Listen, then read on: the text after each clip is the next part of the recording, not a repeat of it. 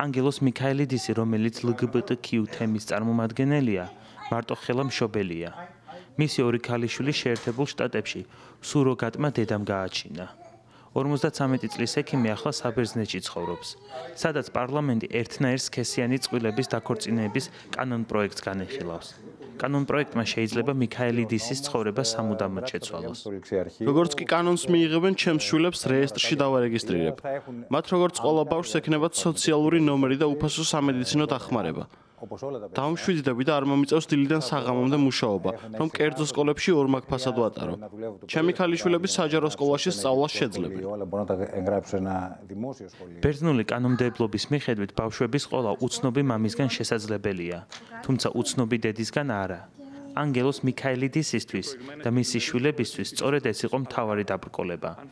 თავრობის წარმომადგენლების თქმით, კანონპროექტი მრავალწლიან უსამართლობას აღადგენს. ბევრი ბავშვია, რომლებიც ორ მამასთან ან ორ დედასთან ერთად იზრდებიან. ისინი ერთად გამოდიან სასეირნოდ, თამაშობენ კალათბურთს, მიდიან საავადმყოფოში. ამ დროს სახელმწიფო მოდის და მათ ერთ დედას ართმევს.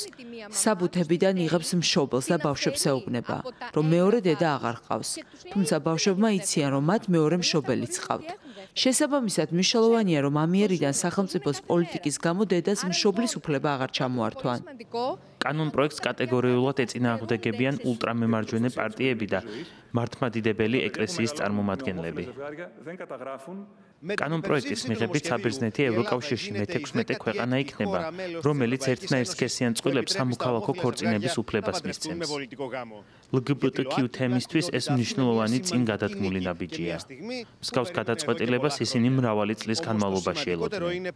კანონ პროექტი დაცული იქნება ერთნაირ სქესიანი წყვილების შვილების უფლებებით, რომლებიც დღემდე სახელმწიფოს მიერ ფაქტობრივად უგულებელ ყოფილი იყო.